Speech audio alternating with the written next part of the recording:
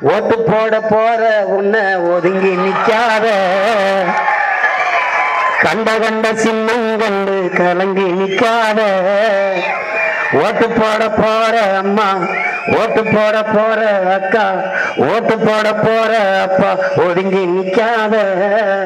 கண்ட கண்ட சின்னங்கண்டு கலங்கி நிக்காத. உழைக்கு மக்கள் சின்னம் அது விவசாயி சின்னம். உழைக்கு மக்கள் சின்னம் அது விவசாயி சின்னம். நாள்தோறும் பாடுபட்டோம் ஆனாலும் கஷ்டப்பட்டோம். நாள்தோறும் பாடுபட்டோம் ஆனாலும் துன்பப்பட்டோம். யாராருக்கும் ஓட்ட போட்டோம் ஓட்டாண்டி ஆகி புட்டோம். இந்த நிலம் மாற நான் வேற என்ன கூற? ஏ இந்த நிலம் மாற நான் வேற என்ன கூற? பாட போறான் பொண்ணு ஒதுங்கி நிக்காத. கண்ட கண்ட சின்னம் கண்டு கலங்கி நிக்காத. உழைக்கும் மக்கள் சின்னம் அது விவசாயி சின்னாயே. உழைக்கும் மக்கள் சின்னம் அது விவசாயி சின்னம். உணவு இல்லை என்றால் உணவு இல்லை. உணவு இல்லை என்றால் உயிர்கள் இல்லை. உயிர்கள் இல்லை என்றால் உலகம் இல்லை. உணவை மீட்போம். உலகை காப்போம். நமது சின்னம் விவசாயி. நன்றி. வென்றே ஆக வேண்டும் என்ற நிலைக்கு நாம் தள்ளப்பட்டிருக்கோம். ஏன்னா சிதைந்து அழிந்து கொண்டிருக்கிற தமிழ் பேரின மக்களா இருக்கும். நம் மொழி நம்மகிட்ட இல்லை. நம்ம என்ன செய்யறோம்னே தெரியாம செய்து கொண்டிருக்கோம். நம் தாய்மொழியை நாமே அழித்து கொண்டிருக்கோம். நமது நிலத்தை பறி கொடுத்துக்கிட்டு இருக்கோம் அது தெரியல. நம் வளத்து வளம் களவை கொண்டிருக்கு அது தெரியல. அவர் சொல்றாங்க ஈஎப் சுமாசர் சிறியதை அழகுங்கிற ஒரு புத்தகத்தில் சொல்றான். உங்களால் உருவாக்க முடியாத ஒன்றை அழிக்கிற உரிமையை உங்களுக்கு யார் கொடுத்ததுங்கிறான் வளங்களை சுரண்டி கொழுப்பதை வளர்ச்சி என்று உங்களுக்கு கற்பித்தவன் எவன் என்று கேட்கிறான். உங்களால் மணலை உருவாக்க முடியுமா? பிறகு எதற்காக அழித்தீர்கள்? உங்களால் மலைகளை உருவாக்க முடியுமா? பிறகு ஏன் அதை அழித்துக் கொண்டிருக்கிறீர்கள்?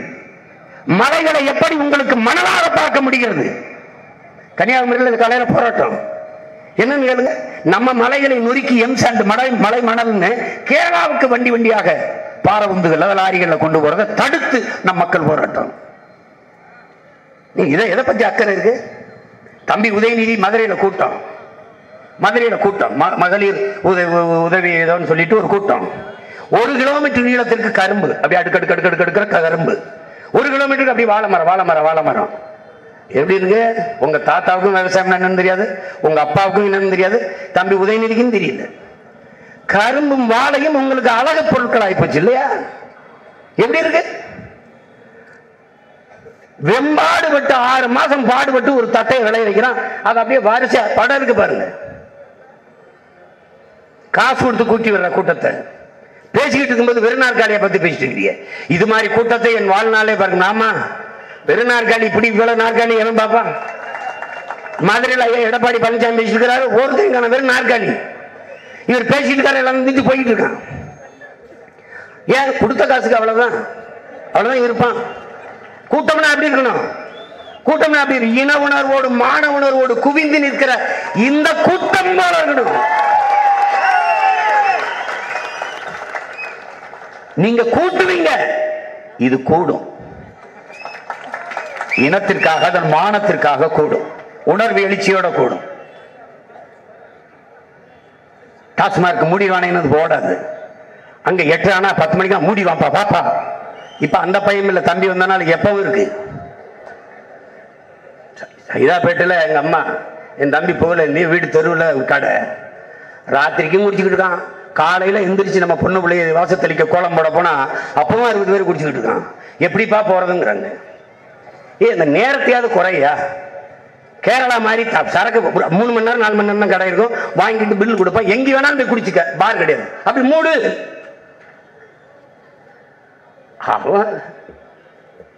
நல்ல தலைவர்கள் இருந்து ஆளுகிறார்கள்.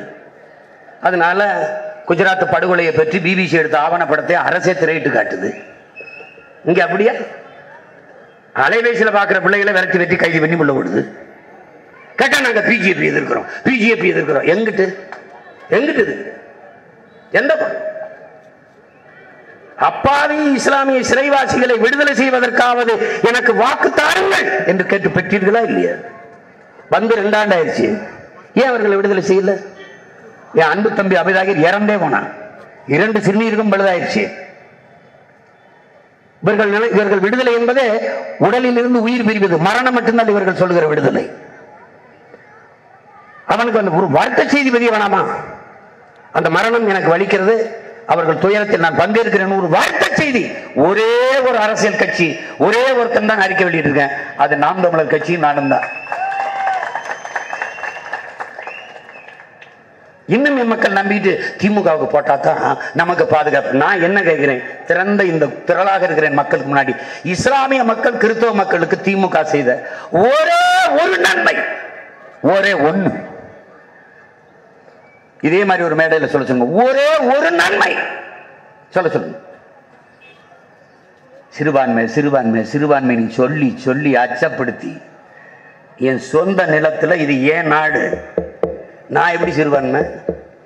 நீனும் சிட்டிசன் ஆஃப் இந்தியா நானும் சிட்டிசன் ஆஃப் இந்தியா நீனும் வரி கட்டுற நானும் வரி கட்டுறேன். நீனும் வாக்கு செலுத்துற நானும் வாக்கு செலுத்துறேன். என்னடா நீ பெரிய புடுங்கி நான் சின்ன என்ன நீ விளையாட்டு பண்ணிட்டு இருக்க நீ? அப்போ சிறுபான்மை மக்களுக்குன்ற வரைய போடுறா. ஜிஎஸ்டி சிறுபான்மை மக்களுக்கு ரெண்டு விழுக்காடு போடு. இஸ்லாமிய மக்களுக்கு ரெண்டுடா. மற்றவனுக்கு அஞ்சு. போடுவியா நூறு நாள் வேலை செஞ்சுட்டு போற எங்க ஆத்தால போயிருக்காங்களடா அவன் கட்டுற வரியத்தான் அதான் அம்பானி பொண்டாட்டியும் கட்டுறான். சமமா இருக்க? வைத்தியக்காரன் மனசுல வச்சுக்கிறேங்க பெருந்தலைவர் காமராஜர் சொன்னதை கும்பிட்டு சொல்ல நினைக்கிறேன். திமுகவுக்கு ஓட்டு போடுறது தான் திருடனை கூப்பிட்டு வீட்டுக்குள்ள விடுறது ஒண்ணுதான்ங்கிறாரு. பார்த்து. அவர் இருக்கும்போது தான் இங்கே செல்லலை. அவன் பேரன் செத்து போனார் பேரனாவது கத்துறேன். இது யாரு கேட்டு ஏதாவது ஓட்டு போட்டு வெளில விடுங்க.